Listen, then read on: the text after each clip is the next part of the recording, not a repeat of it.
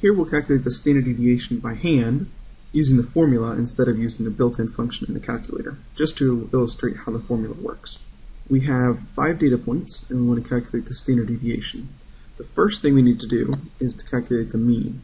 So the mean, remember, is the sum of the data points divided by the number of data points. So we add them up and divide by 5, and we find that the mean is 10.2.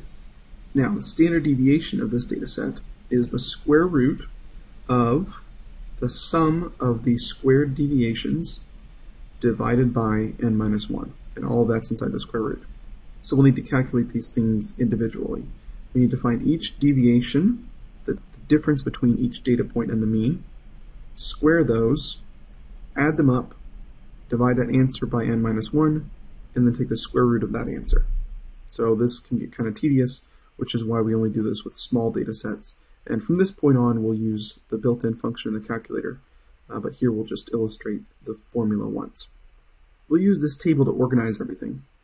We have the data values listed, and we'll calculate the deviation for each one by simply subtracting this number, 20 for instance, minus 10.2, and then 4 minus 10.2, and 15, and so on.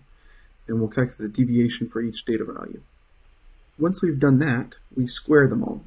And remember, we, the reason that we square them is because if we try to average these deviations, we would get 0, because the positive ones and the negative ones would cancel each other out. But by squaring them, we end up with all positive numbers, so when we average those, they don't cancel each other. Then here all the squared deviations are filled in. Now, we need to add those squared deviations, divide by n minus 1, or 4 in this case, and then take the square root of the answer. Adding these all up, we get 210.8. And then if we divide that by 4, we get 52.7. But we're still not done. The last step is to take the square root of that. The square root of 52.7 is 7.26. So the standard deviation of this data set is 7.26, or the distance that a typical data point is from the center. Again, this example mostly illustrates why we don't calculate the standard deviation by hand usually. Even for a small data set, it gets pretty tedious.